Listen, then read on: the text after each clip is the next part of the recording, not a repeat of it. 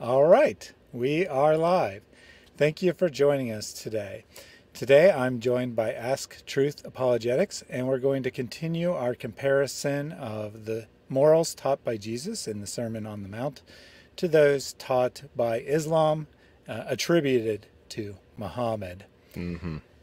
We're going to be looking, uh, or the focus of today is going to be Matthew 6, which is going to be why we should do good comparing why um, Muslims are taught to do good to why Christians are taught to do good.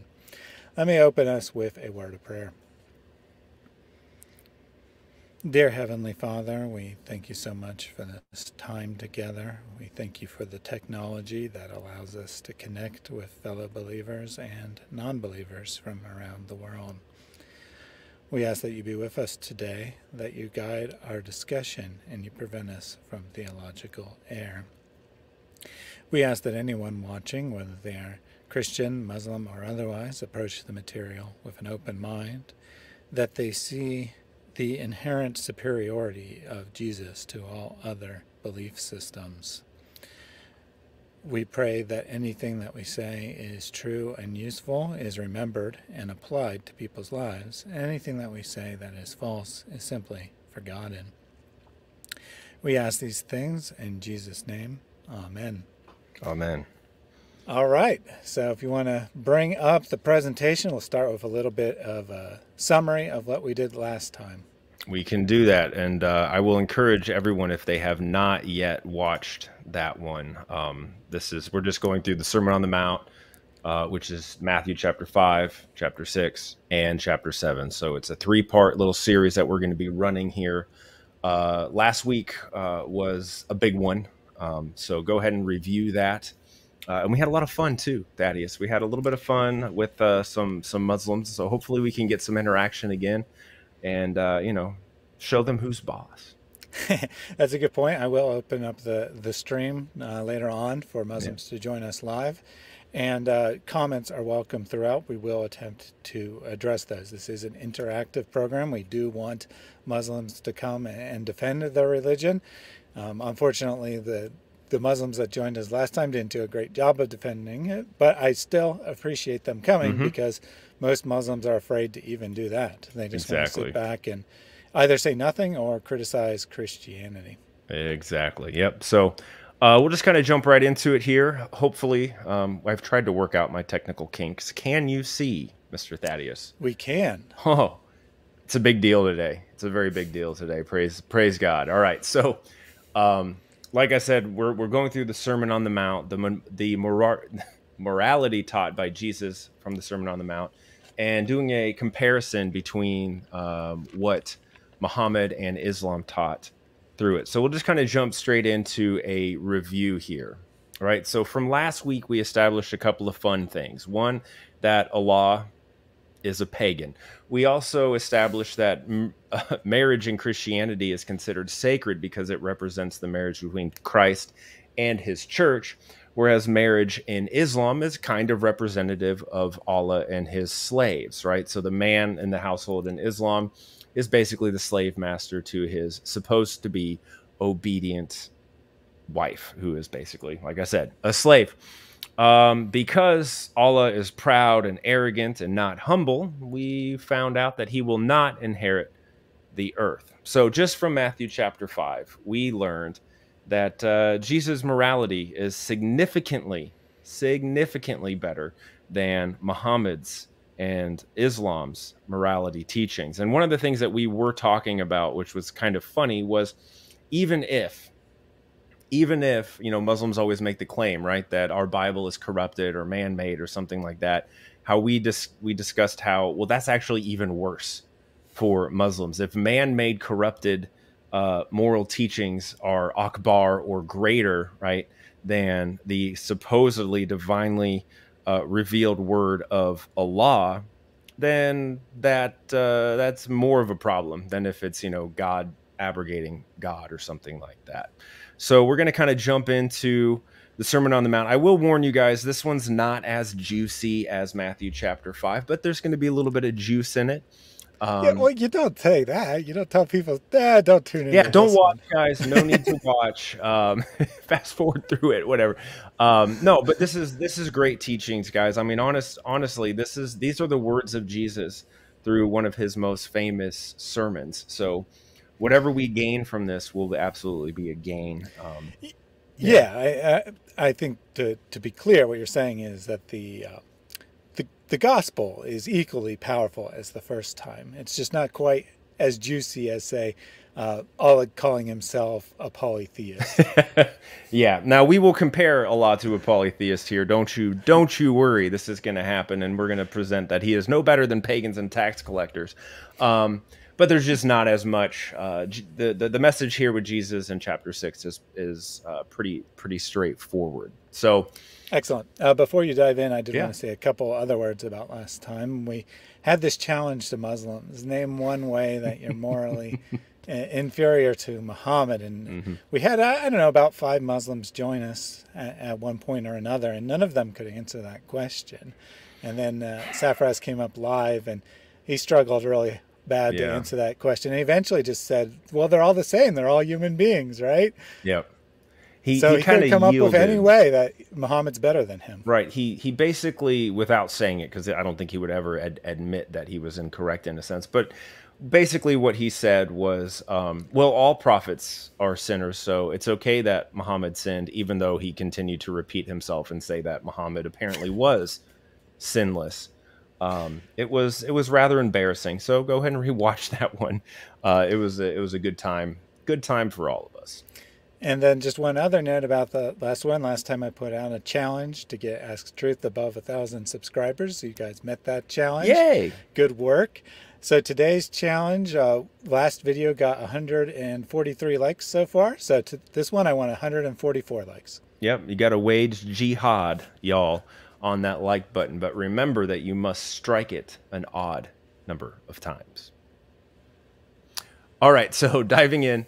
Um, this is going to be, I, I, want us to keep this verse in mind. This is the very first verse of chapter six. And Jesus says, Watch out. Don't do your good deeds publicly to be admired by others, for you will lose the reward from your Father in heaven, right? So this is going to be the compare and contrast verse. Are Christians called to do good deeds in front of others so that they receive that reward? Um, and are Muslims called to do the same thing? And so we're going to read through some of the primary sources and some uh, contemporary Islamic sources to compare and contrast the teachings of Jesus relative to the teachings of Muhammad when it comes to doing good deeds. And, and before you move on, I, I think we can already see that this is going to be a problem for Muslims because we can see constantly that they're doing their good deeds in public mm-hmm. because Islam is a political system and they want to express their dominance. They don't necessarily care about what's in your heart, they care about following the legal law and making everyone know that, and if at all possible, making them do the same. Exactly. Exactly. So we'll we'll talk about when that can be good and when that can be bad, right? But the the one of the key phrases we're going to focus on today is hypocrisy, right? Uh, Jesus talks a lot in this in this chapter about the hypocrisy of people. So he says, when you give to someone in need, don't do as the hypocrites do, blowing trumpets in the synagogues and streets to call attention to their acts of charity. I tell you the truth, they have received all the reward that they will ever get. But when you give to someone in need, don't let your left hand know what your right hand is doing Give your gifts in private, and your Father, who sees everything, will reward you. Sorry, I'm keeping my notes here, right?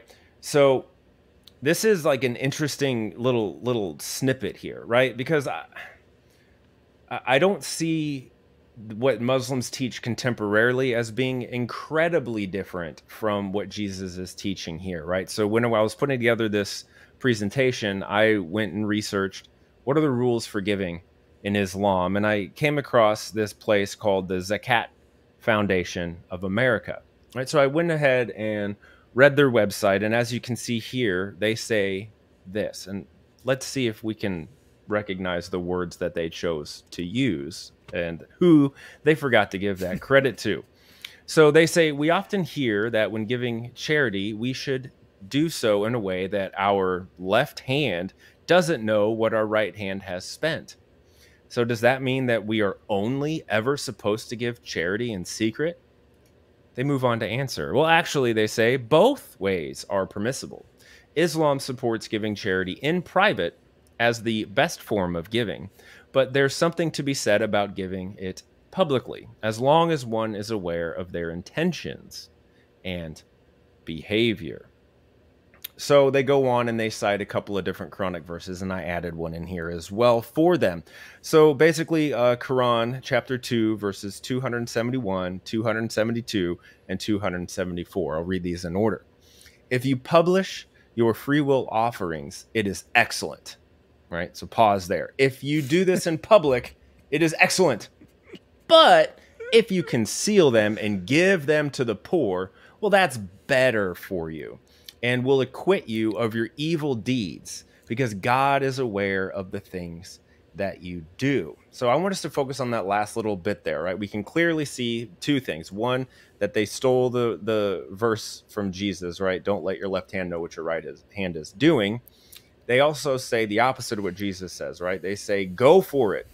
Do your trumpets, blare your trumpets, give freely. Um, but it's kind of better if you don't do it in secret. But either way, it's all good. And then the other thing here is I want us to focus on the transactional nature that Islam likes to focus on, right? The transaction of good deeds versus bad deeds, right? This is a this is a system that pretty much all other religions besides Christianity hold.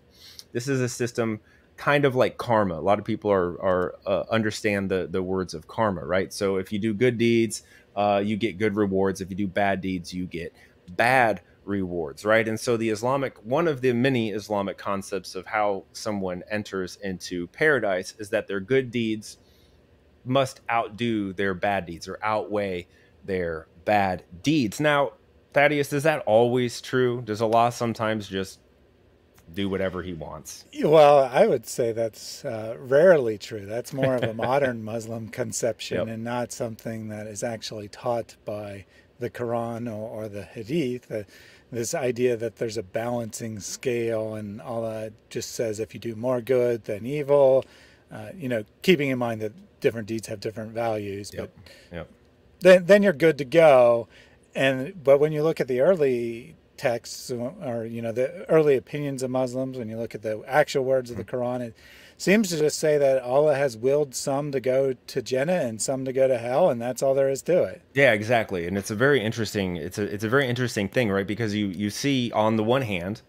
Uh, that you know doing deeds is good but on the other hand it just basically says like allah has predestined you for hellfire or for paradise and um, there's even i can't remember it's if it's a hadith or if it's an actual Quranic passage, uh, but it talks about um, if someone was destined for hell, they might do good deeds, the, the, the deeds of paradise, their entire life, up until uh, the end part of their life, where there then Allah will make them start doing the deeds of hell. So there is actually a deeds relationship here, but the question is, where do the good deeds come from? Is it given freely or does Allah predestine and force that person to do the good deeds? And the opposite is true, right? Someone could do evil their entire life. Um, and then all of a sudden, because they're getting close to death, all of a sudden Allah forces them to start doing the deeds of paradise to where they get into paradise. But again, they're not focused on the love and mercy and grace of God. They're actually focused on um, selfish selfish desires, right? Of course they want to avoid hell. Of course they want to go to heaven. And Allah is giving rules here for how someone can earn their way to heaven, even though they actually can't. Again, it always makes sense if you don't think about it. So we try not to analyze these things too far. Uh, so Ron asked uh, what the reference for this verse was. It was. Uh, this is chapter two, uh, verses 271. As you can see, I'm reading the Arberry translation. Excellent. And uh, he also commented, I had a chat with a Muslim about this, and he said they do good deeds to have a better chance with Allah. Right, and that's, that's kind of what it comes down to. Of, yeah, interesting yeah. choice of words there. You know, have a better chance. You, mm-hmm. you no guarantee. Uh, and no uh, guarantee that you're going to hell if you don't do the good deeds either. It just increases your odds somewhat, maybe. Yeah, exactly. It, it, it's kind of like playing the lottery, right? Like if if you don't play at all, right, it's probably unlikely that you're going to win. Um, so you just want to you know stack the odds ever in your favor, um, and, and do the best you can, right? So so maybe Allah will reward you, or maybe you were already predestined for hell. Maybe you're predestined for heaven. You don't really know. Um, so I guess you do the best you can and and uh, cross your fingers and hope Allah had a good day and woke up on the uh, the correct side of the bed. Indeed. Uh, before you move on, uh, I just have a question for Muslims to consider here. Let's just say theoretically someone was crafting a religion and they wanted to generate as much income out of it as possible. Hmm. How would they advise you give charity? You know, it seems to me it'd be something like this do it in public so everyone knows about it, or do it in private if you prefer. Either way, you're good to go because uh, your your donations are going to override your evil deeds, and they're going to cause you to be blessed. Uh, it's interesting, isn't it? Right, how fear um, creates this kind of income for the leaders of Islam. It's very interesting, isn't it? Indeed. Um, all right, so the next verse, uh, two two seventy two, says, "Thou art not responsible for guiding them. So they're talking about the people that you give to. But God guides whomsoever he wills, exactly like you said here, Thaddeus. And whatever good you expend is for yourselves, for then you are expending, being desirous only for God's face, and whatever good you expend shall be repaid to you in full, and you will not be wronged unless you were predestined for hell to begin with. Um, and then the final verse here, this is 274. So, chapter 2, um, ayah 274. Those who expend their wealth night and day, secretly and in public, their wage awaits them with their Lord, and no fear shall be on them, neither shall they sorrow. Right. So, like I said, kind of here uh, earlier, whoop, I'm going to go back here. Sorry. Like, like I said here earlier, what's interesting is is how the website like we said, chose to use Jesus' own words, but gave him no credits, right? The citations that we were reading here, um, when it comes to the Quranic passages, they talk about how it's a self-serving giving, right? Yes, you are helping someone else, but really, it's for helping yourself so that Allah will like you more.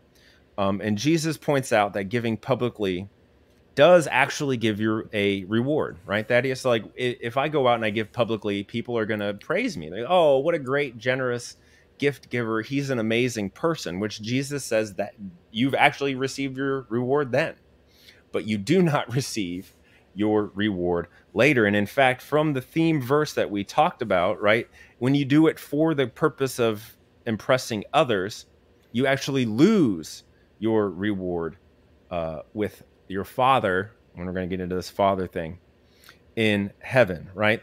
So this is what Jesus has to say moving on to prayers and fasting. Well, hold on. Before yeah. you do that, I did have a follow up from Ron um, about his Muslim friend. Mm-hmm. He said it was all based on Allah's mercy and that Allah was more inclined to be merciful uh, if you gave charitable donations or, or, you know other good deeds. And I think yeah. that's actually very interesting here. That somehow you're changing the will of God by your own actions. Almost like this is a, a, a being that, that is not clearly superior to human mm-hmm. beings. That he, he stands apart from them, but he's influenced by them. And their, right. their actions determine his decisions. Very strange stuff. No, exactly. And and if you go to the to the end of our, our video slides from our last presentation, we talked about um, if if you love someone who loves you first, you're no different than pagans and tax collectors, right? And we talked about how Allah, uh, in the 100 times that the word love is in the Quran, none of those times does Allah say that He loves anyone first, right? So this is a major problem, right? Because Muslims will tell us that Allah is independent, like we can't influence Him in any way, shape, or form. Um, we He is He is not contingent on anything. But when you actually think about this passage, when it comes to love or accepting and giving mercy and stuff like that, it makes actually Allah dependent, right? Or contingent upon your behaviors. This is not the God of the Bible. This is the exact opposite of the God of the Bible, whom in First John says that God is love, and that the only reason that we're even capable of love is because God loved us first. Right. So in the in the Christian concept of God, God is actually independent. His love for us is um, non-compromising. He loves us no matter what. However, in Islam, it has to do with uh, if you choose to love God first, even though you don't have a choice. Once again, makes sense if if you don't think about it. And uh, it looks like noted troll Swati Dawa has joined us today, just on the off off chance that he's actually paying attention and thinking. Hmm. Let's go ahead and answer this question okay. for him. Uh, do the Christians know they will go to heaven and not to hell? Uh, only if we have faith in God and the works that He promised to give to us. Um, so I don't know about you, Thaddeus, but I actually don't trust myself. Uh, I know that I'm a sinner who deserves nothing but hellfire. But I also know Jesus, and I know that He promised us that if we follow Him, take up our crosses and follow Him and believe in Him, like the Israelites believed in the serpent on the pole um, that they too will be saved, or we too will be saved. So my faith is actually not in myself. My faith is in Jesus Christ, our God, our Lord, our Savior. So if I have faith in Jesus, I have no fear of death. I have no fear of hell. I don't know if you can say the same thing as a Muslim. I feel like as a Muslim, you can't actually have that assurance because well you don't actually trust Allah to be merciful and you can't possibly trust yourself to be good enough. So the I'm going to put the question back on you buddy. How do you know that you're going to go to heaven? I don't think you can. Absolutely. Uh, someone said yes in the chat and he said how do you know that? I'm assuming that was probably not directly to what you're saying because of the mm-hmm. delay um, and was response to the yes. But the reason we're confident, as you just said, is because we're not relying on our own good no. deeds. We're not relying on our own abilities. We're not relying on our ourselves doing anything. Rather, we're relying mm-hmm. on what has already been done on our behalf by God. We're placing our trust exclusively in God, not in ourselves. That's exactly. why we can have confidence. Exactly. And I believe it's Isaiah chapter 40. It says that God is our only Savior. I want you guys to let that sink in. God is our only Savior. It's not a hard logical conclusion to figure out that if Jesus is our only Savior, that makes Jesus God. So moving on a little bit more of the hypocrisy stuff, right? So this is a big one for for Muslims. Prayer is really important for Muslims. They do it 5 times a day, right? And we'll kind of dive into how they do this and whether or not it aligns with the teachings of Jesus. So Jesus says, "When you pray, don't be like the hypocrites who love to pray publicly on street corners and in the synagogues where everyone can see them. I tell you the truth. That is all the reward they will ever get. But when you pray, go away by yourself, shut the door behind you, and pray to your Father in private. Once again, Father. Then your Father who sees everything will reward you. When you pray, don't babble on and on as the Gentiles do. They think their prayers are answered merely by repeating their words again and again. Okay, so let's talk about how Muslims are supposed to pray. And we're going to review here really quickly, right? Um, it says, Do not be like the hypocrites who blow the trumpets and they want to be seen on the street corners by everyone. Instead, go into a private room, pray to your father, right? And don't repeat the same thing over and over and over again. So I'm curious as to whether or not Muslims do this five times a day, repeat the same prayers over and over and over again. If the call to prayer is not heard in Muslim majority lands over and over and over again, right? Ever since 1400 years ago or or whatever. But basically what they're doing is they're announcing. They're announcing, "We are praying now. Everybody who can hear this, we are praying now. What, what is is their reward with the Father in heaven, according to Jesus, or is their reward in that moment from people thinking that they're awesome? What do you think that is? Yeah, I'm gonna say it's it, any reward they get is what they get here on earth because this Exactly. is exact opposite of what Jesus did and an exact copy of what the pagans uh, did I might add It they is thought interesting. that the more words they gave the more inclined the God would be to hear them Mm-hmm. because gods were not fundamentally good it's like if you annoy him enough he'll give you what you want kind of Right. deal Right. Yeah. And, and Jesus talks about that as well. Okay. So uh, you may have seen on the news at the beginning of Ramadan, uh, Times Square was basically shut down. Uh, all a bunch of Muslims congregated into Times Square, all over the street corners. Right. And this is like the largest street corner on earth. They filled this up. So thousands of Muslims are were praying on the streets and the sidewalks. Right. But this this doesn't just happen in Times Square once a year. Right. This happens all over the world all the time right muslims will stop traffic they will bring out their prayer mats into public they will get their reward by doing this right so what we see is you know they're standing up they're kneeling down they're prostrating standing up kneeling down prostrating and what do they do they say the same things over and over and over again day in day out throughout their entire lifetime and we've already established that this is the actions and behaviors of hypocrites and of pagans, right? This is not what Jesus is telling us to do, right? Jesus tells us in the next verses how we ought to pray, right?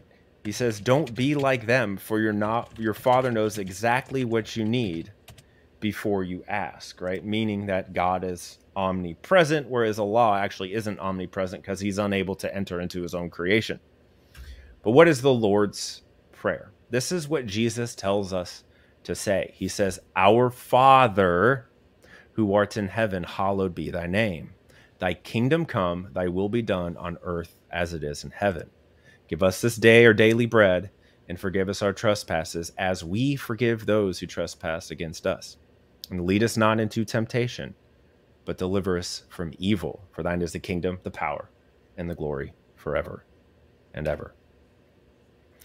amen Have you ever heard? Yeah, amen. Ha- have you ever heard a Muslim tell you, Thaddeus, that Jesus prayed like a Muslim?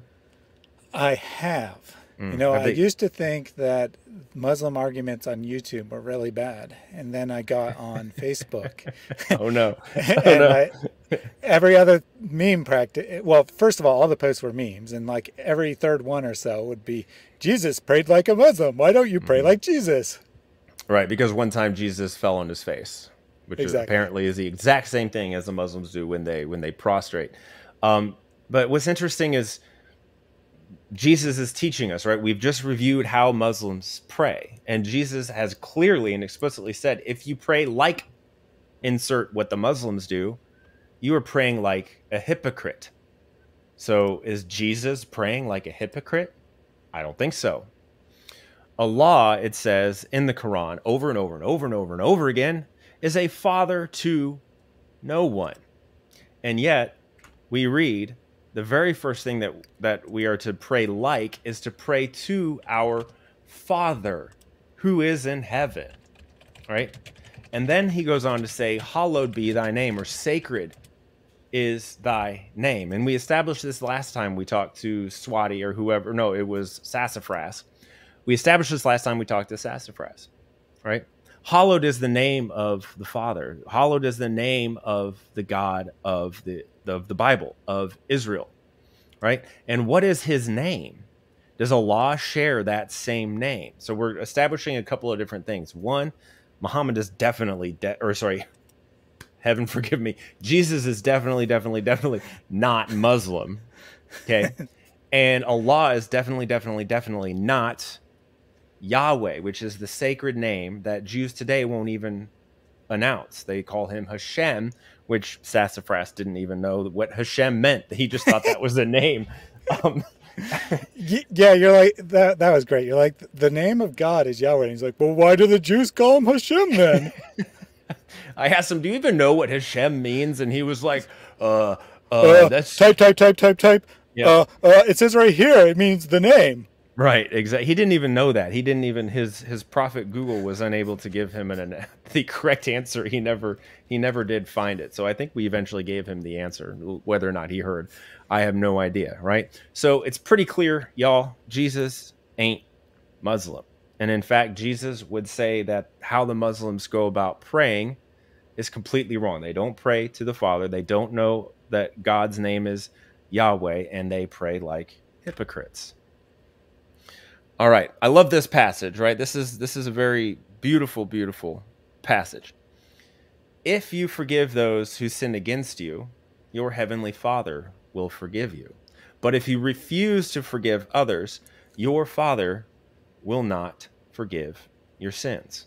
All right. So when we talked uh, in our last video about the Beatitudes and how we're supposed to love our enemies, pray for those who persecute us, etc., etc., etc., right? Um, we demonstrated over and over and over again how the Muslims are actually told to be the persecutors, right? They are the ones who are actually persecuting people. They are the ones who are not providing forgiveness. And in which case, according to Matthew chapter 16, or sorry, 6 verses 14 to 15 here on your screen, they will not have their sins forgiven because they are unwilling. They are too prideful and arrogant to forgive other people's sins, right? So we should forgive others. Now, Thaddeus, I don't know about your pastor or preacher, um, and and what they say, right? But there's pretty common sayings. One one thing that my guy says is "hurt people hurt people." Have you ever heard that before? I haven't heard that particular one, but okay. it, it makes sense. Right. So if I've been hurt or you've been hurt, Thaddeus, it's more likely that you're going to want to harm another person. That's pretty standard, natural animalistic behaviors, right? Eye for an eye type of thing. We talked about earlier that eye for an eye no longer applicable, that we should forgive those who who persecute us, right? Because if we don't, Jesus is saying that our Father won't forgive us either. So if we understand that hurt people hurt people, we need to also learn that forgiven people forgive people. And praise Jesus that he has forgiven me. He's forgiven you, Thaddeus. He's forgiven all of us if we just get on our knees and pray for Jesus to to remove our sins. Right? Then all of a sudden we become redeemed, we become forgiven, and our nature changes. Our heart of stone is taken out, and we are then given a heart of flesh and the Holy Spirit so that we can forgive others who sin against us. It's a it's a it's a change that happens within true Christians we go from having the behaviors of animals, right? Fight, flight, that type of stuff, to having the behavior of God, right? To be like God, to be made in his images, to be loving, kind, forgiving, merciful, gracious.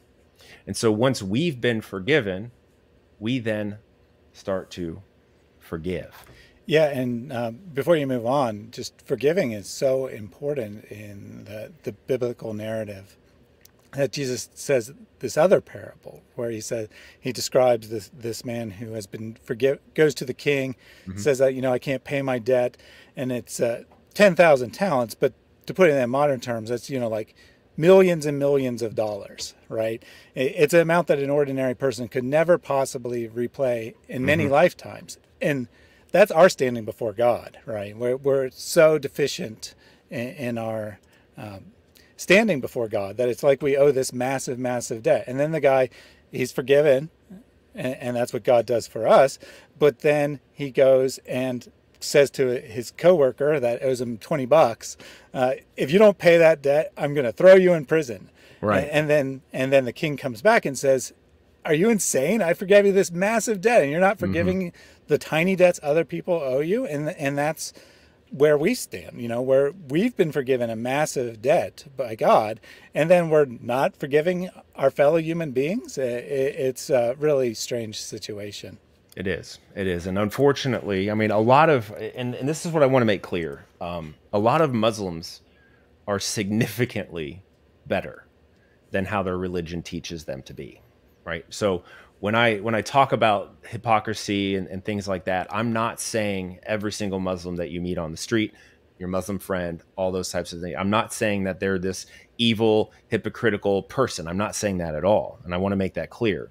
right? But what I am saying is that their religion teaches them to be that way, right? So we're, we're, we're not comparing necessarily the behaviors of the adherents to a religion.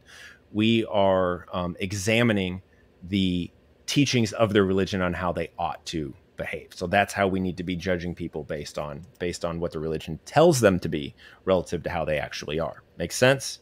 Absolutely. And uh, uh, simultaneously, John left this related um, comment. Please mm-hmm. inform the audience that what some Christians do or don't do is irrelevant. They'll always be wolves in sheep's clothing. Absolutely. Matters is what Jesus taught. And you were just talking about how we mm-hmm. shouldn't judge Islam by the way Muslims act. Likewise, right. we shouldn't judge Christianity by the way some Christians act. Mm-hmm. We should judge both by what they actually teach. And that's what we're attempting to do here today. Uh, I, unfortunately, we find that most Muslims are, are, way better than the teachings that they're given, uh, and most Christians are well, all Christians are worse than the teachings that, that we are given because mm-hmm. Christianity acknowledges we're fallen human beings, and right. Islam kind of teaches you to to be it celebrates being a, a fallen human being, and right. you know, like for example, what we saw earlier, where eh, you know, give money to to make up for your bad deeds. yeah, that's uh, that's not self-serving at all, now is it? Um, and what was I going to say? It probably escaped me. Um, yeah, whatever. We'll move on. It'll come back to me. Um, do you, you want to add anything to that, Thaddeus, before we move on? Uh, no. Um, so I put Swati in time out, and he just came back. Um, and oh, poor buddy. He, he retracted his message. So I'm just going to reiterate the reason you're putting time in isn't because of what you said, it's because it was off topic. You are trying to distract, change the topic, talk about something else talk about what we're actually talking about today. You can mm-hmm. talk about whatever other thing you want to talk about when we're talking about that subject, but today we're talking about the Sermon on the Mount as found in Matthew 6 compared to the teachings of Muhammad. Exactly. And and what I was what I was going to say it came back to me is Thaddeus I'll, I'll just ask you this. Who is our pattern of conduct? Who are we supposed to follow and emulate to the best of our ability? That would be Jesus. Okay. And it's very simple and easy to examine Jesus' life and determine whether or not he was perfect and holy or if he had blemishes and sin. Now, help me out here, Thaddeus. Was he perfect and holy or did he have sins? Uh, he was perfect and holy. Yeah. So it's very easy for us to answer the question, right?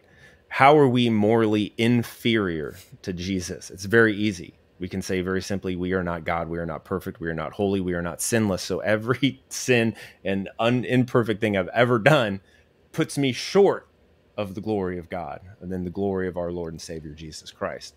Whereas the Muslim question, who is their pattern of conduct? Well, clearly it's Muhammad. And Muhammad did all kinds of abhorrent things. And it's difficult, as we witnessed last week, it's actually difficult, if not impossible, for a Muslim to tell us how they are morally inferior to their pattern of conduct. And it's not a difficult leap here in logic. If you are morally superior or even equal to your pattern of conduct, then that's probably not a role model that you should be following. You should follow someone who actually realistically was perfect, not someone who you have to make up excuses for all the sins that they've committed, right? Right. Absolutely. All right. Anything else, my man? Nope. I think we're good for now. All right. We'll, we'll wait for our next macro distraction here. Uh, fasting. And when you fast, this one applies to uh, Muslims, especially now since it's Ramadan, don't make it obvious, as the hypocrites do. For they will try to look miserable and disheveled so people will admire them for their fasting. I tell you the truth. That is the only reward that they will ever get.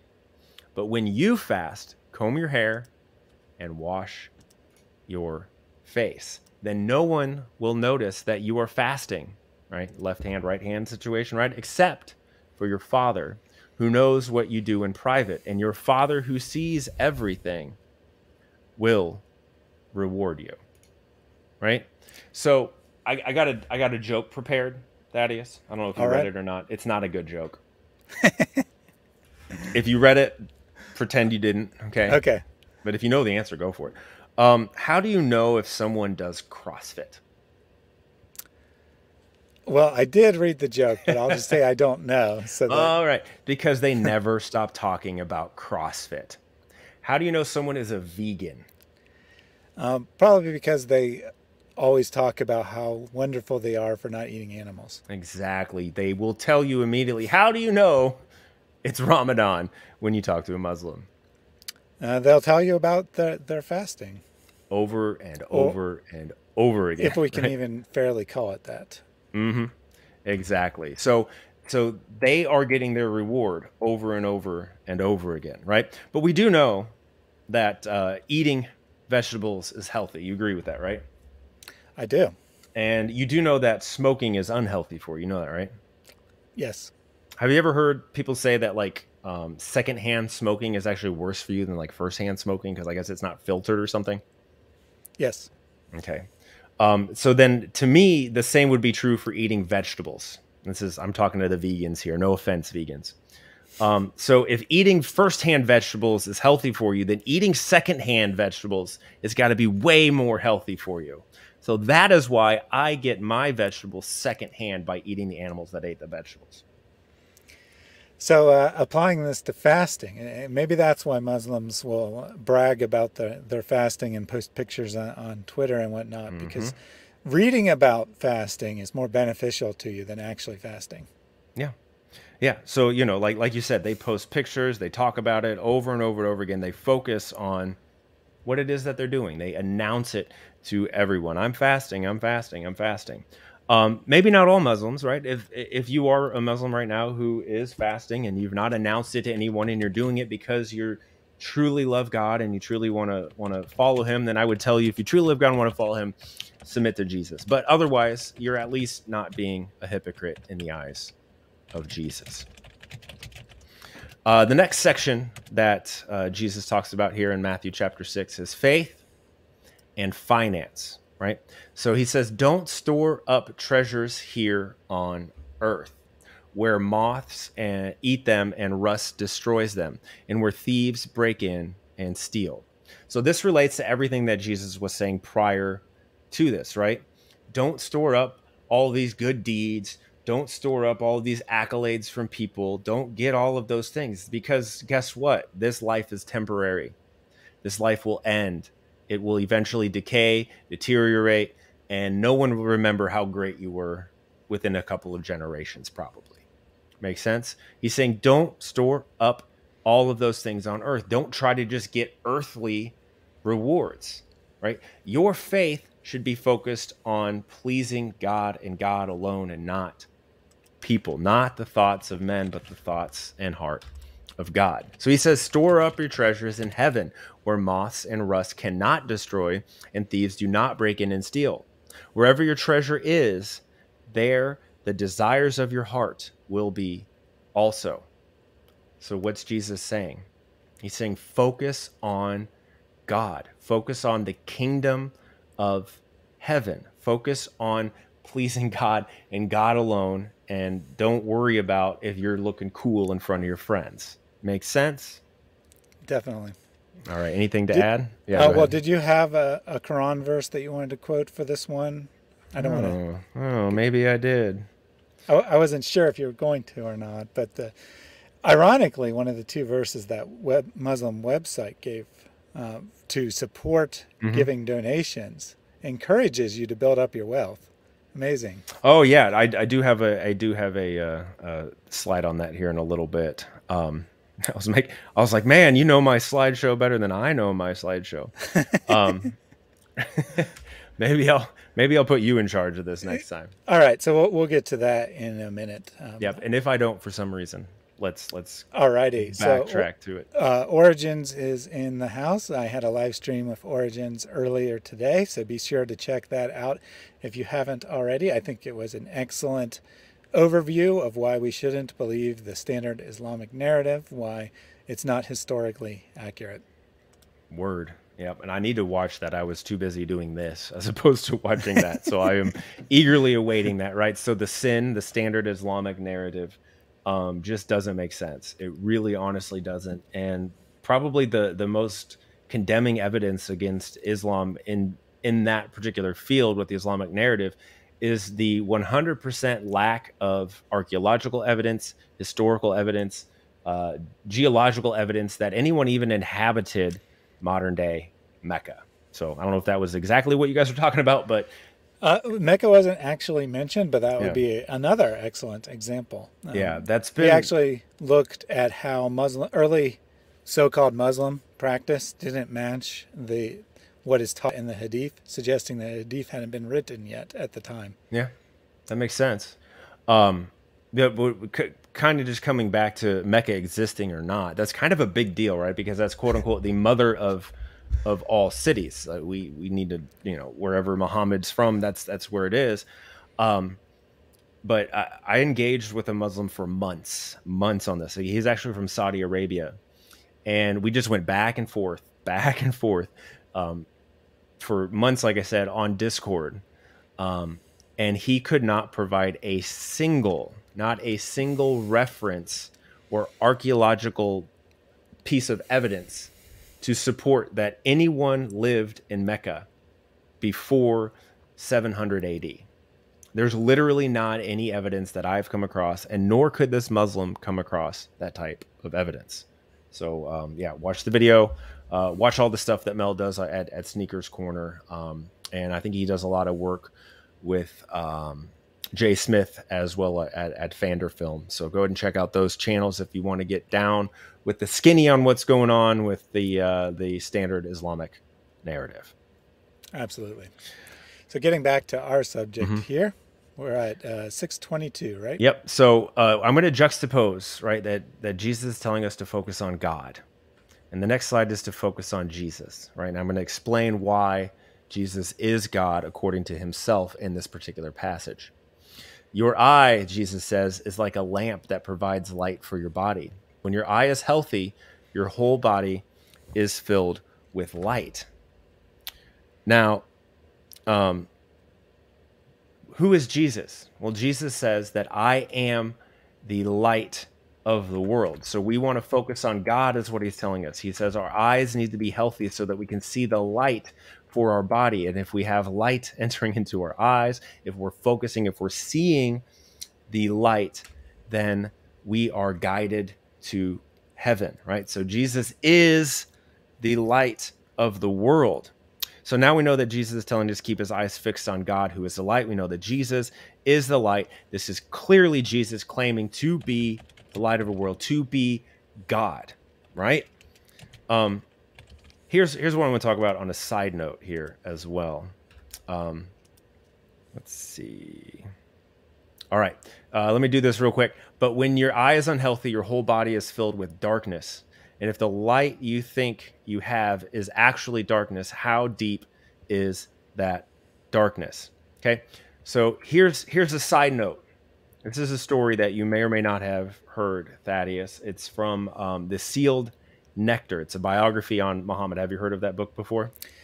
Yeah, I would say it's the most popular Sirah mm-hmm. biography of Muhammad yep. today, anyway. Yep. And speaking of the Muslim I was talking to, that's what he he want. He's like, you need to read this book before I talk to you ever again. I was like, all right, fine, buddy. I'm going to read this book, and then I'm going to show you this passage. um, so speaking of eyes, right? Speaking of eyes and being healthy with your eyes, the biography about Muhammad records a time when some murderers and robbers were caught by Muhammad. And guess what Muhammad did to them? Eye for an eye, tooth for a tooth, right? He just murdered them back. well, well, uh, he would have to rob them back, right? He would have to take their stuff. He did he did a lot of stuff, right? So uh, again, again, uh, eye for eye, tooth for tooth. If, if, that's what your principle of morality is, okay, I'll let that stand on its own. That's different than the principle of morality that Jesus taught, but we're going to go with it, okay? So this is what he did to those robbers. He had their hands and feet cut off, right? That was the first thing that he did. All right, they stole. That's one of the rules of Islam. You got to chop off their hands and feet from opposite sides okay, seems barbaric, but that's within the confines of Islamic teachings, Islamic justice. Here's where here's where it gets interesting. They had their eyes gouged out with hot iron. Speaking of eyes, right? Can you imagine that? You robbed and murdered someone, right? You deserve capital punishment. I have no problem with capital punishment, right? But to torture them, to gouge their eyes out with iron, and then he executed them via crucifixion. And then, you know, how is this justified? How is this justified, Thaddeus? Well, Quran chapter 5 verse 33 says the punishment of those who wage war against Allah and his messenger and strive with might and main for mischief through the land execution or crucifixion or cutting off the hands and feet from opposite sides or exile from the land that is their disgrace in this world and a heavy punishment is theirs thereafter right so this is just a story of not justice, not mercy, not forgiveness, not anything. And and what Muhammad did was actually beyond what even the, the Quran says to do. Your thoughts? And of course we got that that convenient little phrase there, mischief in the land, which can be defined as whatever the ruler wants it to be, basically. Well, it is. And then the other question that somebody needs to ask themselves is okay, I understand how I can wage war against Muhammad, even though he is dead, but I could wage war against Muslims like today, right? But how does someone go about waging war against Allah? Isn't Allah transcendent beyond, you know, time and space, unable to enter into creation, unable to be seen by anyone, even though his shin and hand and face and one of his two eyes can be seen? Um, how do you wage war against Allah? How do you do that? That's a good question. I'm, I'm, sure the Muslim would tell us that it's against his teachings or, or mm-hmm. whatever. Mm-hmm. But this is the perfectly clear Quran that explains itself in detail, and it doesn't say that. And right. traditionally, Muslims have looked at, at uh, you know explanations like that and said you can't do that. You're going beyond what the Quran actually says. If it says wage war on Allah, it means wage war on Allah. Mm-hmm. So if we understand this to mean what I think it means, is I can only wage war against Allah ideologically, right? That's how I can wage war against Allah. I can say Allah is Satan, right? Allah is the best of deceivers, which I'm not sure if that's waging war against him or just quoting him. I'm not sure. um, but what I'm trying to say is that's mischief in the land that would be considered by Muslims, if they're really understanding this passage, to be mischief in the land. So, by what you do, Thaddeus, what I do, what a lot of other YouTube apologists, especially polemicists against Islam, are doing, is we are waging intellectual war against Allah. And according to this passage that we just read, Surah 533, it says that we are to have our hands and feet cut off uh, we are to be crucified and we are to be killed. So that's, that's why you true. can justify. That is why you can justify people who have drawn pictures of Muhammad. That's why Muslims can sit there and you know the Charlie Hebdo situation. Um, the school teacher who showed the Charlie Hebdo pictures in class, he had his head nearly chopped off by a Muslim.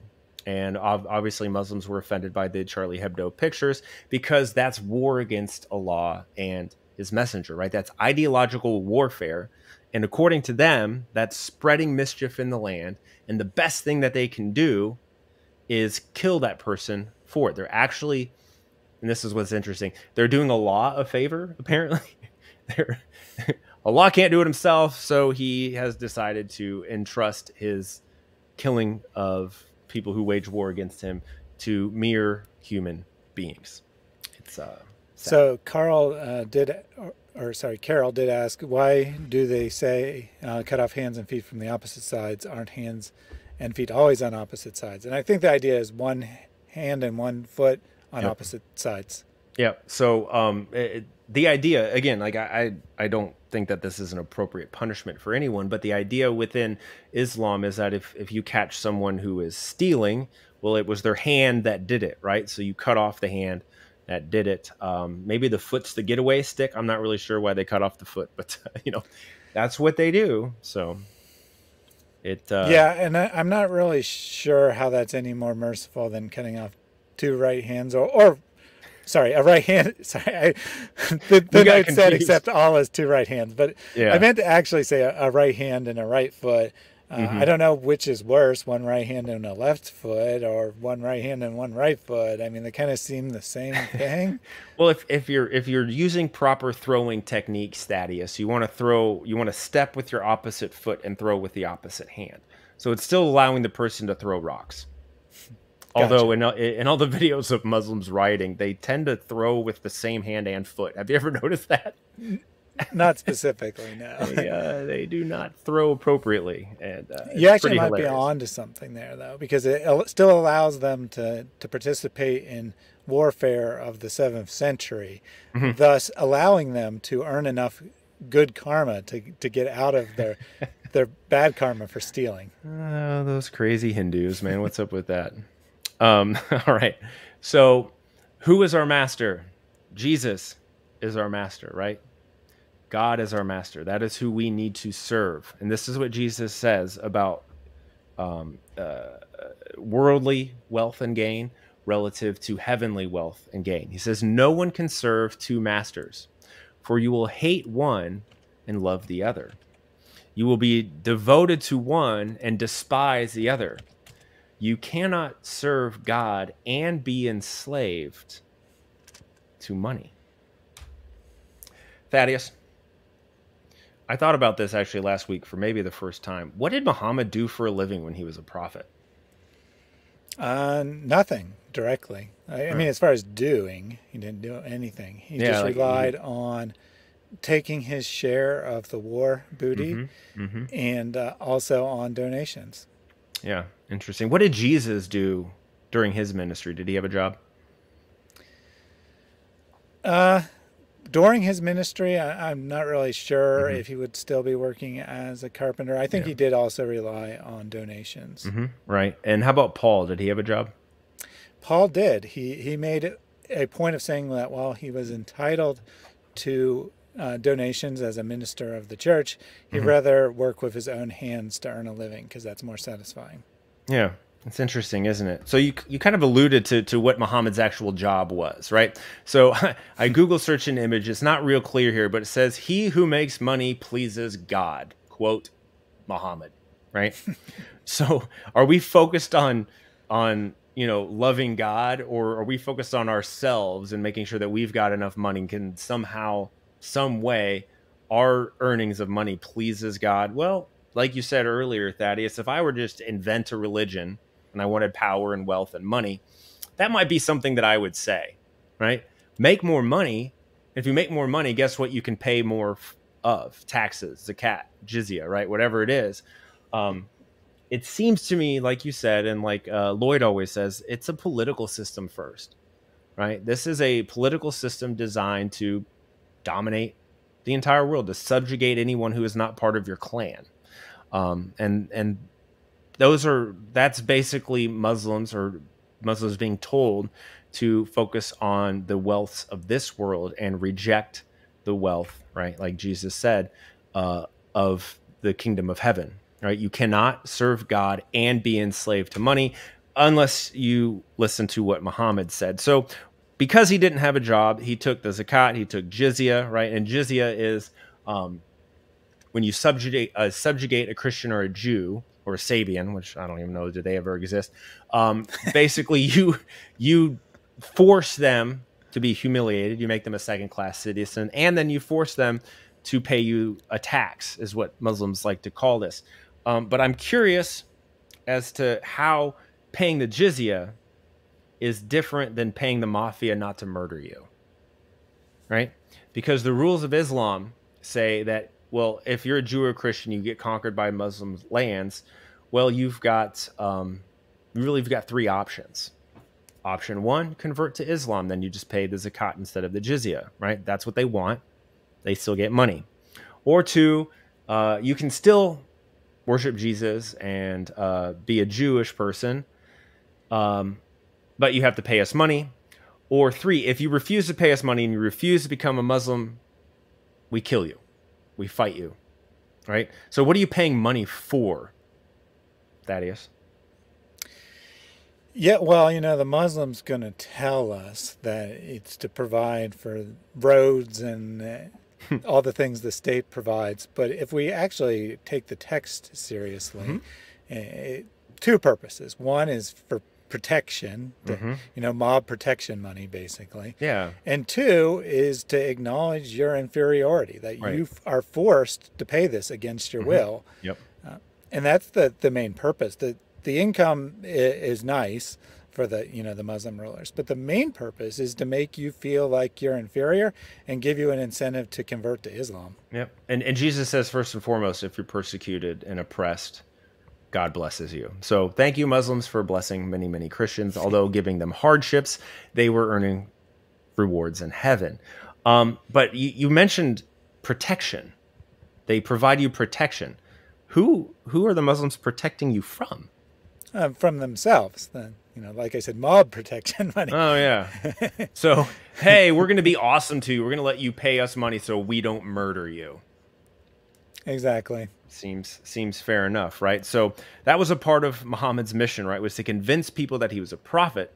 But once he gained power, the rest of his mission, like I said, uh, was to subjugate everyone by either killing them, enslaving them, copulating with them, even if they're still married to their husbands, taking all of their money, forcing them to pay a tax to him, right? So Muhammad taught his followers to value wealth above valuing God. So I'm gonna I'm gonna try a little contrast out here, and we mentioned this a little bit in the last stream, but I want to I want to lay it out again. Jesus was led into the desert by the Holy Spirit after his baptism, right, Thaddeus? That is correct. Okay. And this is where Satan approaches him and one of the things that Satan offered him was wealth. Correct. Right? Worldly wealth. He, he showed him all the kingdoms of the world and he said, You can have all of this if you just bow down and worship me. Right? Now, did, did Jesus go, Oh, that sounds great. Let me do that. Is that what Jesus said? No, that's not what he said. Oh. He, what did he end up saying? Uh, well, and, and, not those exact words, but no, thank you. yep. He said, Be gone from me, Satan, right? He resisted the devil, and the devil fled. Okay. And then instead of gaining all of the world's wealth and power and um, all those types of things that any human, right, regular human might be tempted to, to desire, what did Jesus get instead? He got uh, humiliating death on the cross. He did. And why did he do that again? Because he loves us. Oh. He loves us and he wants to have a relationship with us, with, us. And so he, he forsook worldly wealth and pleasures and Satan worship so that he could die on a cross to uh, forgive our sins. Yes, to, that, to take the curse that's rightfully ours upon mm, himself yeah. to repair the relationship between us and God. Right. So the wages of sin is death, but thanks to be to Christ who gave his blood for us and we are forgiven. Um, a similar thing happened to Muhammad, believe it or not. He uh, he was in a cave apparently before his ministry, and uh, he was nearly choked to death three times by what he calls later, actually not even him. He Muslims have decided that this was the archangel Gabriel, or what they call him Jibril. And although the, the, the record doesn't say that Jabril offered him, you know, wealth and power and all those kinds of things, um, he, he let's pause. Let's, let's put a pause on that. So he is approached by this demon, was what I'm Satan himself, just like Jesus was approached.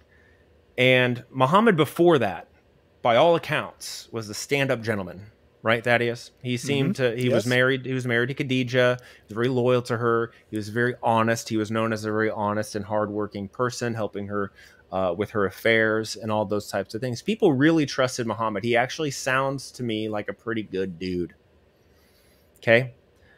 After his encounter with this spirit being, whom I will call Satan, did did he go out and try to get all the same things that Jesus rejected from Satan? Worldly power, wealth, um, all those things? Uh, he did. Hmm. Strangely enough, he, his uh, revelations ended up serving his purposes in the earthly sphere. Yeah. Um, so Muslims, in case you were wondering why Christians think Allah is Satan or Jibril is Satan, it's because of this. It's there's multiple reasons, of course, um, but Muhammad went from being what seemed to be an upstanding person, right, to being this warmongering, child marrying, uh, polygamist, terrorist who was bewitched apparently, which is neither here nor there, and and a pedophile he had multiple wives. He murdered multiple people. He had people tortured and killed for their money. His entire aim was to subjugate first and foremost the Arabian Peninsula and then the entire world, right? Meanwhile, getting all of uh, one fifth of all the war booty and all of these types of things. And if he so much as looked at a married woman of a Muslim and he wanted her, the Muslim was supposed to just give it to him. That sounds to me like someone who was a good person, allowed Satan to uh, enter into their life, and then became satanic, right? And then since then, he has convinced billions of poor Muslim souls to worship Satan, a character that fits the bill of Satan. And in um, is it Ezekiel? Ezekiel talks about how Satan wants to rise above the throne of Allah. Lucifer wants to rise above the throne of Allah and um, and be worshipped like God. Isn't it interesting that this uh, desert um, demon has convinced so many people that he is like God? Although when we really read about him, it's pretty clear that he is 100% evil. Before you go on, I have a, a couple comments uh, and a question from the audience as well.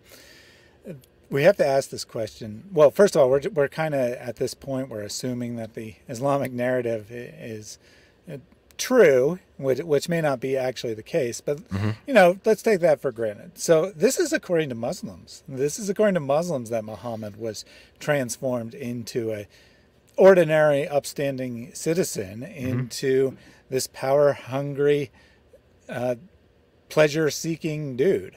Yeah. And we have to ask the question what was he doing in that cave in the first place? Mm. And I, I think that, you know, if we're taking the, the narrative seriously, it appears that he was practicing Jewish mysticism, that he was trying to f- get close to God, uh, that he was, you know, performing certain rituals in order to try to get to God because he lacked a relationship. He, he wasn't a Christian. He lacked a true relationship with God. Mm-hmm. And his own impression is that he's probably been possessed by a demon, yeah. which is a side effect uh, of Jewish mysticism. That if you go wrong, you, you, know, if you go right, you can get up into God's throne room and, and experience his presence. But mm-hmm most of the time things are going to go wrong because you're you know you're practicing this very dangerous thing where you're trying to tap into the spiritual world which makes you very vulnerable to demons so muhammad yep. comes and says i think I, I, might be possessed by a demon mm-hmm. and Khadijah says uh, take your pick either she says uh, you know this is my husband I, I care about him I, I, want the best for him or she says cha-ching what, what, what, this is our opportunity to cash in big here if we can mm-hmm. convince everyone that he's getting revelations. Yep. And unfortunately, whatever her motives might have been, she ends up creating the, this religion that oppresses women because mm-hmm. she was looking out for, uh, you know, her own self-interest at yeah. that time, and ultimately because Muhammad didn't have a relationship with God and was trying to create one on his own efforts. Yeah. No, it's it's very true, right? It, it always reminds me of the Tower of Babel, right? They're they're trying to build this tower into heaven, and, and God, you know, says, no, you can't do it on your own. You need me to be able to get you into into heaven, which is obviously uh, what Christ did, and that's obviously what happened on the day of Pentecost, right? Because when God scattered them at the Tower of Babel, um, they their language was one, and then it became many. But then on the uh, night of Pentecost or the day of Pentecost, uh, the Holy Spirit came down and made all these different languages come across as one language to preach one gospel. Um, we could so, go. Yeah, go ahead. Sorry. Yeah, no, that's fine. Um, so Scruffles says, "What witness did Muhammad have that he spoke to or seen anyone who was a witness?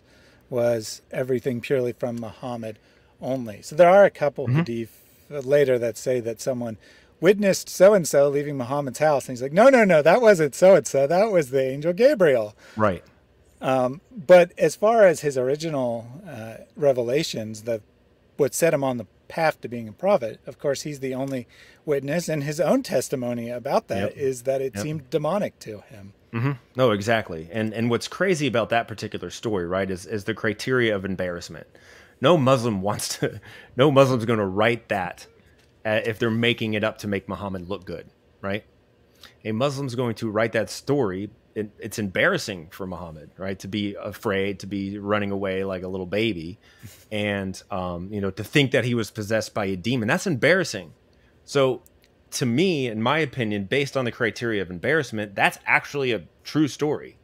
This guy, Muhammad, right, really did encounter some sort of spirit being or thought he encountered some sort of spirit being. There's lots of theories about, you know, seizures and all kinds of stuff, but he believed that he encountered a spirit being. And then he believed that somehow that anointing, uh, or that somehow that anointed him as some sort of prophet of, of God. Um, and uh, two, two little brief stories here. One, apparently Muhammad, you know, like how they like the cartoons depict like you have an angel on one shoulder and a demon on the other. That concept is in Sunni Islam that there's like an angel on one side and a demon on the other side, or a jinn.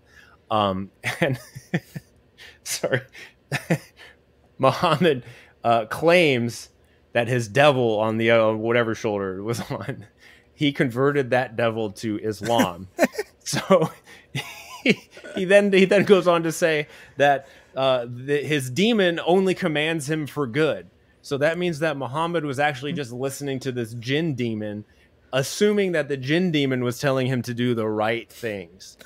um, yeah, I was going to say, did he actually have to convert him though, or was this jinn already a, a uh, Muslim.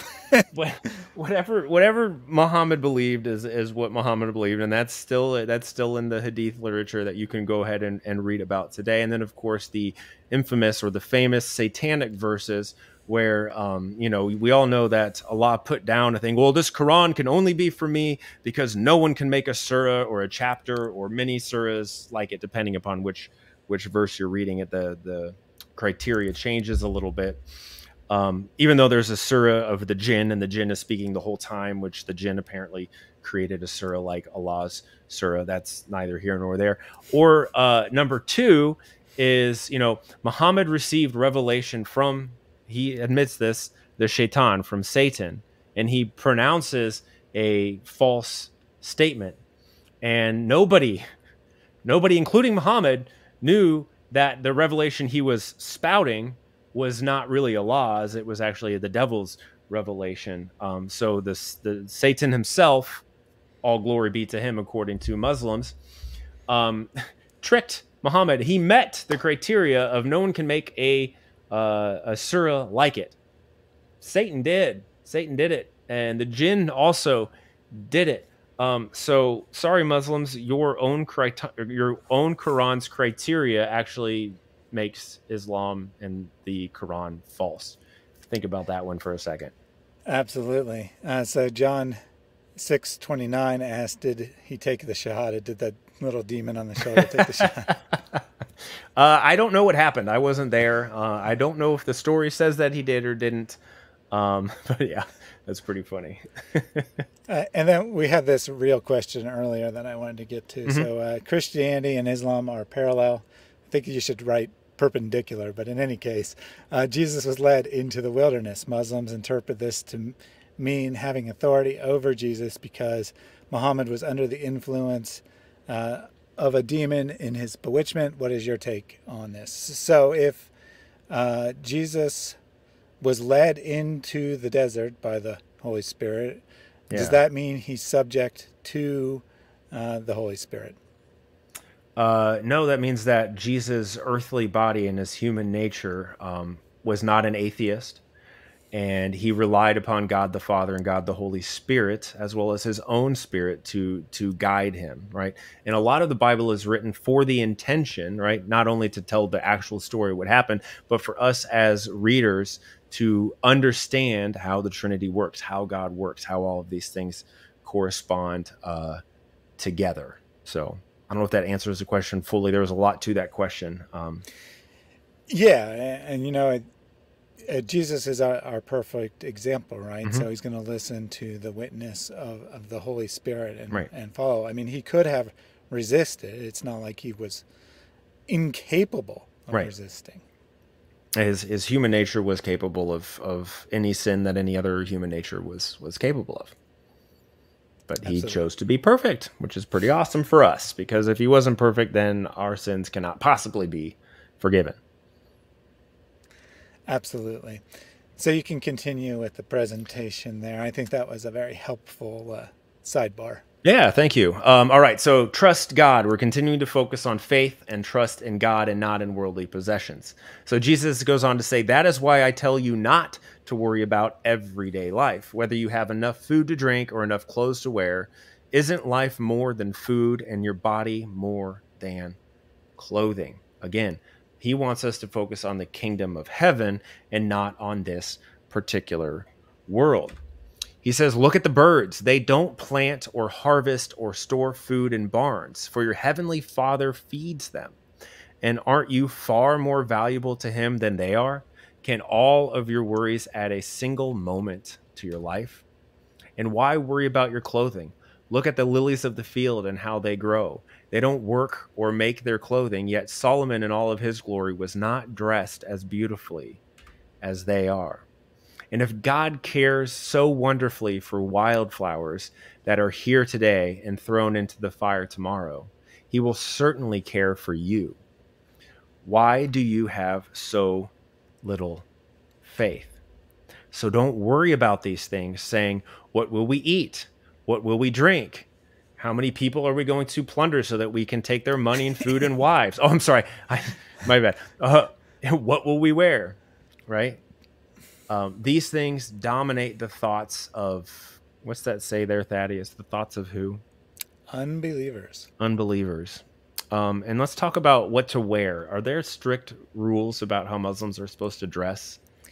There are. And in fact, we in the West are usually unaware of a lot of them. But there mm-hmm. are numerous guidelines on how to dress for both men and women, not just women.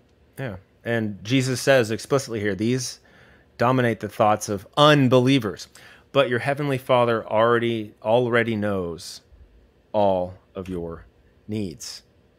So seek the kingdom of God above all else. Live righteously and he will give you everything that you need. So do not worry about tomorrow, for tomorrow will bring its own worries.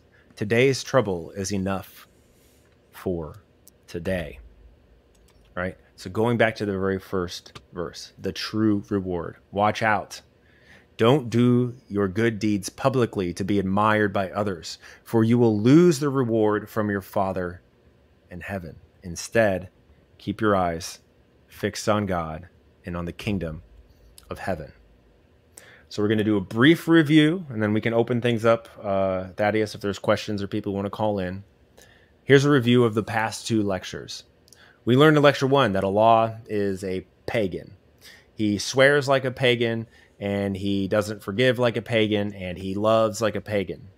We discussed how marriage is not sacred in Islam. It's a slave to master relationship, whereas it is sacred in Christianity because the Christ's love for us and is like a man's love um, for, uh, or sorry, Christ's love for the church is like a man's love for his wife, and we ought to be willing to lay down ourselves for her. Allah, because of his pride and arrogance, will not inherit the earth. Allah preaches and teaches his adherents to do what Jesus calls hypocrisy. Allah focuses on worldly, earthly pleasures, also known as hedonism. So, based on these two lectures we've talked about, Thaddeus, I'm going to go ahead and say it Jesus for the win. so, I did post the link for anyone who wants to come up and join us uh, about 20 minutes ago. Swati, after coming out of timeout, he complained that I put him in timeout. I explained why he was put in timeout for talking about off topic stuff, and then he kept posting over and over again what is the name of God in Aramaic, which had absolutely nothing to do with what we are talking about. So I mm-hmm. timed him out a second time and he seems to have since disappeared. Oh, hmm. We, we uh, will give a few minutes for any Muslim watching who wants to come up, and I do have some comments Mhm. to go over in the meantime. So this one was just posted by XT Matt. I don't know if he's a, a Muslim. he's an uh, extraterrestrial. Um, he quotes this Quran verse This is a right way with me. Surely, as regards my servants, you have no authority over them except those who follow you of the deviators. Uh, and this, he added that um, this is Allah speaking to Satan. So I'm not quite sure if he's trying to, I mean, I guess he's trying to defend Islam, but I don't Yeah. really see what the connection Well, is. so so this is what Muslims are going to do, and I think this is a, a decent argument. The problem that that arises with this is there's so many different contradictions between the nature of Satan throughout the Bible and the nature of Allah in the Quran, right? Um, so yes, a lot of the Islamic teachings are teaching you to resist Satan, right? To to turn away from him and to only follow Allah and things like that, right? So I don't have any problem with that concept, right? To resist evil and to and to follow good. But the problem of of Allah and what he considers to be good is biblically speaking, and especially according to the Sermon on the Mount with Jesus, Allah is commanding evil things to be done, right? Allah even brags about who who Jesus says was is the father of of lies. Jesus says, you know, the Satan, uh, the devil is the father of lies. You are of your father, right? The devil. Um, and then, um, you know, lying is is permissible within Islam for depending upon what school of thought you follow for a couple of different reasons. Um, eh, we talked about last week about swearing by Allah, and it says that you can you don't don't swear by Allah unless you're telling the truth, right? Which kind of implies that well, you could say anything you want as long as you don't swear by Allah, then it's fine, you're okay. Um, but there's just so many demonic things uh, that Allah does according to the Bible that um, Satan would do. So uh, either it's a contradictory thing, right? The character of Allah is just different from the character of Jesus, and Jesus is clearly morally superior to Allah and his favorite messenger, Muhammad, um, or he's Satan himself. If he's Satan himself and the best of deceivers, the best of makers, the best of planners, the best of schemers, however you want to translate it, um, he might kind of make a straw man Satan and say, "Oh, go against this fake Satan, but worship me," right? Um, so that's a that's a possibility. I wouldn't pass wouldn't put it past a demon to be smart enough to kind of create that kind of diversion. Can't make any proof of that matter, but uh, again, like I said, when you look at the character of Allah, it's pretty clear that uh, if he's not Satan himself, he's at least a demon. Absolutely. And I'll just add that uh, he says that this verse implies that Satan does have authority over the deviators. Oh, I see what he's saying. Yeah. And Muhammad uh, said, or at least allegedly said, Mhm. that uh, Islam would divide into 72 sects or 73 sects, depending on how you read Yep. that. And all but one of them would be deviators. So apparently, Satan does have authority over the vast majority of Muslims. Including Muhammad, right, who delivered the satanic verses. Um, so yeah, interesting. So, oh, hold on one second. Froze up there for half a second when I was trying to switch over. Uh, so this was was uh, left earlier, but it what didn't seem to be directly related to anything, so I thought it'd be best to address it. Yeah, no, end. that's fine. Uh, so Ron says, when I visited a mosque one guy, one time, a guy explained that some of the people try to get to the front because it is better. Much of what they did was good, but could be better by doing it up front. And, and that's just, you know, that. Sorry to be blunt, but that's just like the most pagan idea you could come up with. Mhm. That somehow being in the front row makes you be able to communicate with God better. Right. I mean, where where where is God? If He's not outside of the universe, uh, or you know, everywhere, or, or Mhm. however you want to look at that, is He like confined to a specific space near the front row or something? that he Right. can hear you better. Well, it's like he's trying to be seen by people, right? Like that's the that's the what Jesus speaks about, right? They're trying to get up front to be seen by people. Jesus also says um, that if you want to be the greatest among you, right, you must make yourself least. And the God of the universe humbled himself, right, to the pains of death on a cross, but he also told Peter and the disciples as he was washing their feet, right? Like I must I I you need to do this for other people as well, right? And think about back in those days it was, you know, a lot of horses walking around in the streets and whatnot. So to wash someone's feet was a was basically a slave type of behavior for someone to be doing. Um, and so the, if Muslims are taught to try to get to the front, right, to take the highest seat, then God says and Jesus says that they will be humbled and humiliated because they will be kicked down to last. But if you go to the back, um, then someone might bring you forward. Um, and metaphorically speaking, that's basically just saying that God will lift you up um, if you remain humble. Uh, so Ruth asked if she could ask a question in Spanish. Do you know Spanish by any chance? Nada mucho, senorita. uh, no problem. Go ahead and, and put the question in, and we'll put it through a machine translator and try our best. Yeah, I don't know if Mary's here. I know Mary. I think Mary speaks Spanish. Too many Marys. Yeah, I think she's here. Mary, you speak yep. Spanish, don't you?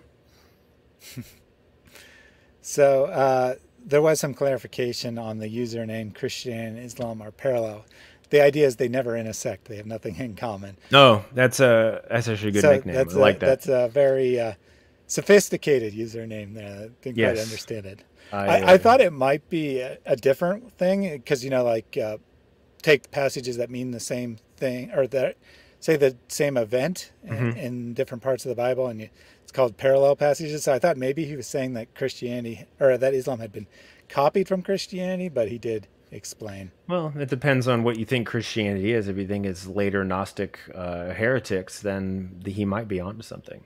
So if you like the uh, the Gnostic apocalypse of Peter or something like that, you might get this idea that uh, Jesus was not crucified, and that uh, it made it Allah only made it appear that he was. Excellent. So uh, Mary did say that she knows uh, Spanish and can translate. So excellent. Go ahead and pose that question for us.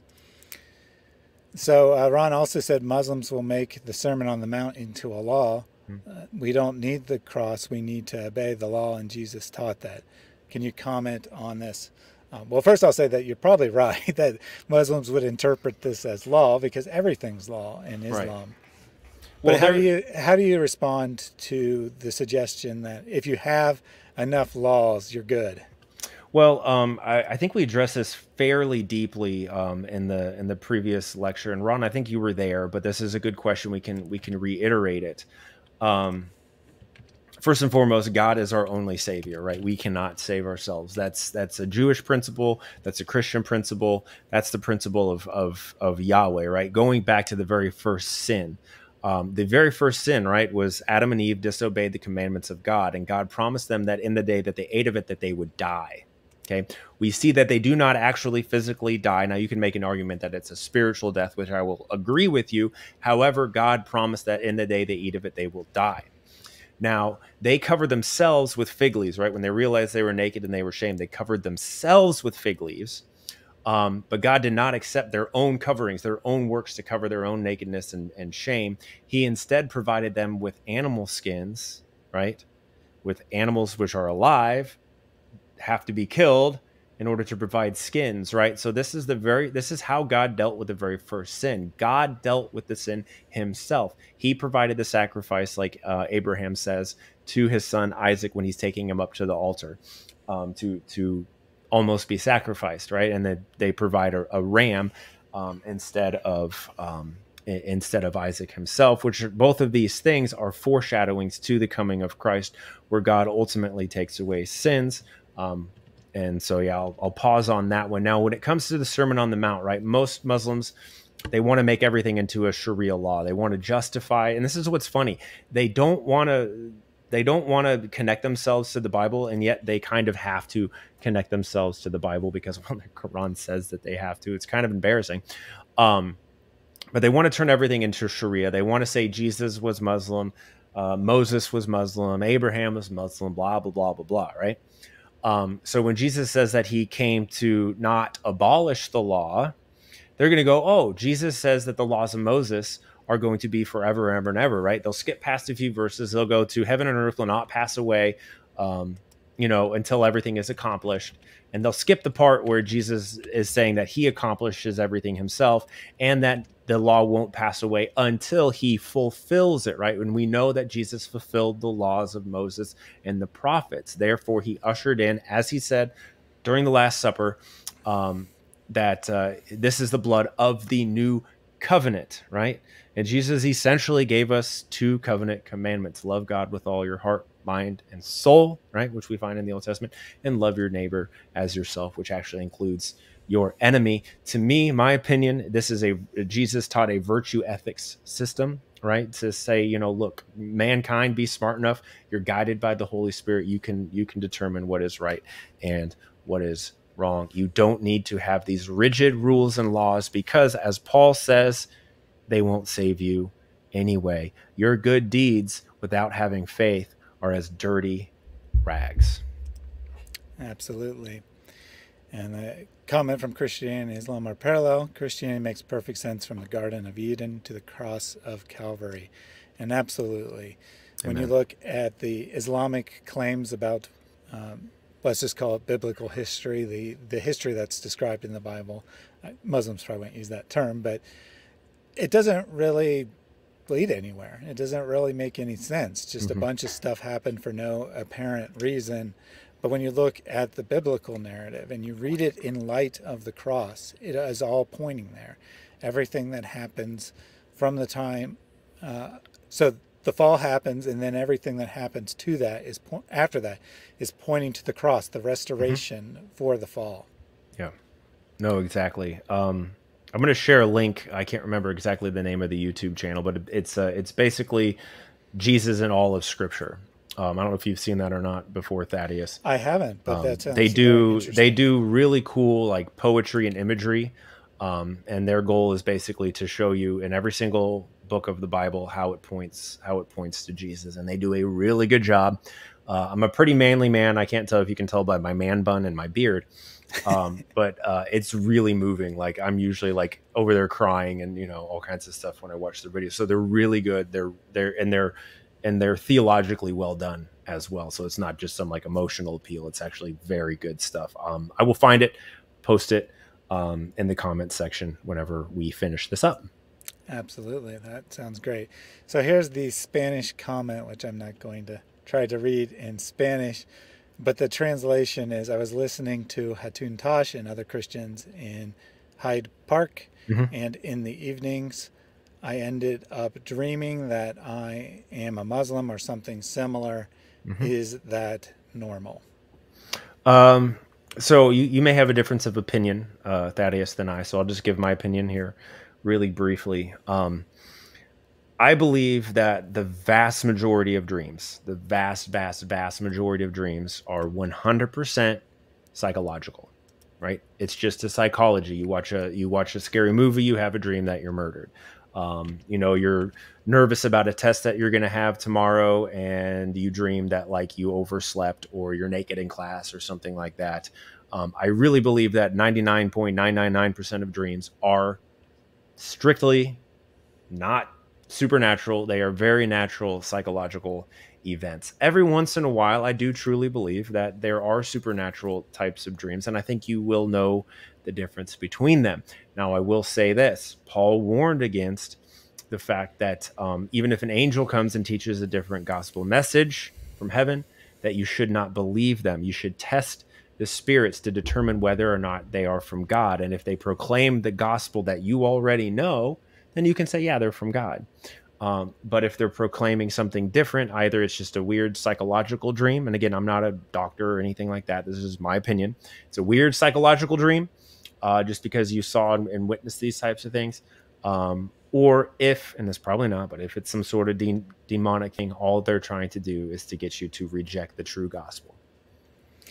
Absolutely. And I'll, I'll just add that, um, you know, ancient people who believed that dreams could be messages from mm-hmm. God, mm-hmm. even if you have that, that belief, um, which I, I'm certainly not saying that belief is invalid, but even under that belief, people who uh, in ancient times would say that almost all dreams were, were meaningless, that you had to have specific reason to believe something was from God. So, right. I mean, I, am assuming you didn't pray to God before you went to sleep, please give me a dream that I'm a Muslim if you want me to convert to Islam. Yeah. Um, and, and, you know, we do hear about Muslims converting to Christianity because of dreams, but mm-hmm. they're always prompted by something specific, right? Yeah. The, the, the person doesn't just randomly have a dream about Jesus and, and then decide to convert. Rather, they have an encounter. Normally, they have an encounter with, with a Christian, and the and they're already curious. They're already thinking that they they might want to convert to Christianity, and then they pray for a sign, and then God grants them the sign. Mm-hmm. So I, I, would say if the um, the dream probably doesn't mean anything. It was just probably prompted, uh, like At said, by the thoughts you were having because you know you yeah. heard people talking about Islam and then you had a dream about Islam and that's all there is to it. Yeah. So so Ruth, she said, I stopped listening to Hatun at night because I don't want to become a Muslim. Um, I, I, will tell you two things, Ruth. Um, one non-biblical and one biblical. Okay. First one, non-biblical. Um, you don't become anything that you don't choose to become right? First and foremost you, it's not just going to like magically force you to become a muslim so you don't have to become uh, a muslim if you don't want to be okay? Second of all i want to tell you this greater is he who is in you than he who is in the world okay? And if you have accepted christ as your lord and savior the holy spirit god the holy spirit is dwelling within you and is greater than anything on the outside world Absolutely. Uh, Mary made a comment about, you know, being a nightmare. Of course, when we have a, a nightmare about, uh, you know, being being murdered or being chased by a criminal mm-hmm. or, or whatever the or falling or you know whatever nightmare that you, you have, you don't say that that means that that's going to happen. Right. Um, so you were. Uh, like we said, you were probably thinking about how horrible Islam was right before you went to bed, and then that prompted your having nightmares about converting to Islam. Right, and if she was listening to it while she was sleeping, um, she could have been hearing a, like a Muslima say, "I became a Muslim." I had a dream, or you know, something like. I have no idea. This is just pure speculation, but um, I guess bottom line is um, I wouldn't put a whole lot of stock into it. Think about it, examine it, have conversations with with people who who you love and trust about it, um, and uh, I and pray pray to Jesus to guide you to the right path, and I am very sure that He will. Absolutely. Yeah, I mean, we, we can. I think it's legitimate and valid to seek out signs from God, mm-hmm. but I don't think we should ever make our decision solely based on our perception of a sign because signs are very easy to misinterpret. You know, they're very easy to see what you want to see and not see the reality. I would say, you know, determine what's true first and then uh, ask for a confirming sign from God if you, you need it. Uh, she left this follow up comment. Uh, I didn't see a translation from Mary, so I'm just going with the the. Mary's just speaking to her in Spanish. So the yeah, other thing so, I'll tell you, the other thing I'll tell you, uh, Ruth, is whatever Mary said, do that. Yes, by all means.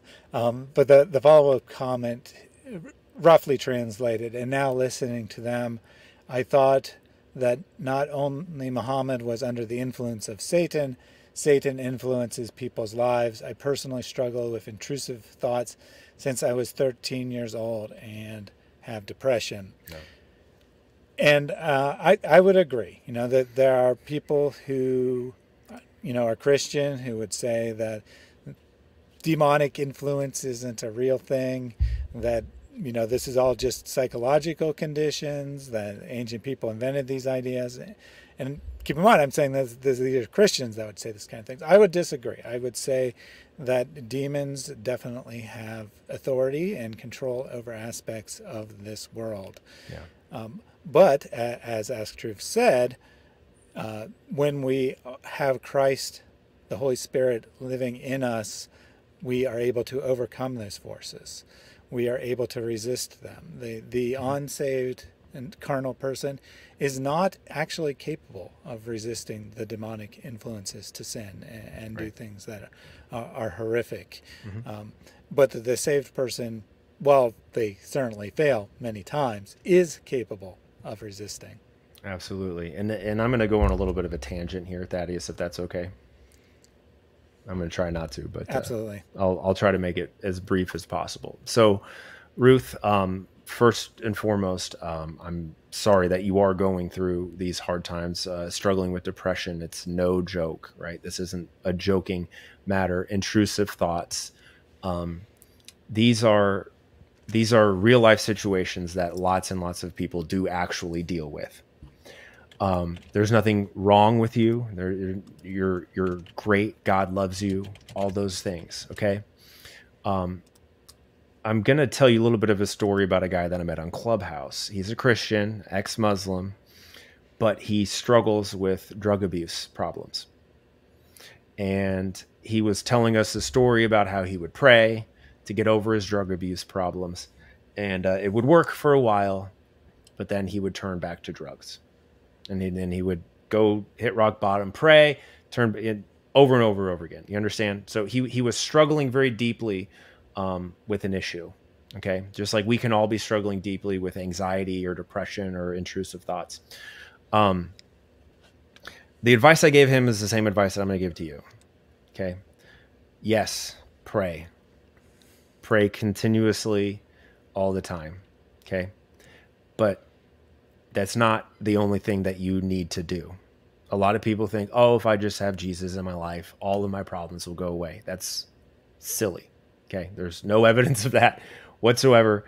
Uh, we also have responsibility over over our health and well-being. Okay. So I'm going to tell you this little parable. Um, it goes like this, right? I'm going to try to butcher it. I'm going to try to go quick though. Uh, this guy uh, heard on the news that a flood was coming towards him and he said, Well, I don't have to worry about this flood because um, I've got God. He will save me. Okay. As the rain starts coming down, one of his neighbors calls and says, Hey, we're getting ready to leave. Do you want to join us? And he says, No, I've got God. I don't need to join you in your car and leave. Right. As the rain goes higher, someone in a canoe drives by or paddles by says the same thing. Hey man, hop on the canoe. We'll we'll take you to dry ground. He says, No, don't worry about it. God's got me. Flood keeps coming up higher, and he's on the roof of his house. Helicopter comes, says, Hop on, dude. Like you're gonna drown. He says, No, it's fine. God's got me. Okay. As you might imagine, how the story concludes, he's dead. He, you know, goes up to heaven and uh, you know, he's like, Hey God, like I had faith, man. Why didn't you save me?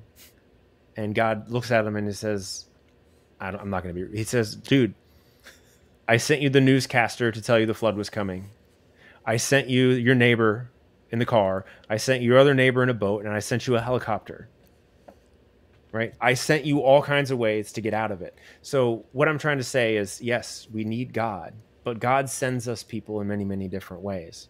So if, if you are having, and you may already be doing this, but if you are having intrusive thoughts, issues struggling with depression, there's nothing wrong with going to seek professional help. God sends people and anoints people to be able to be very good at their jobs, right? Whether it be psychologists, psychiatrists, whether it be medications or anything like that.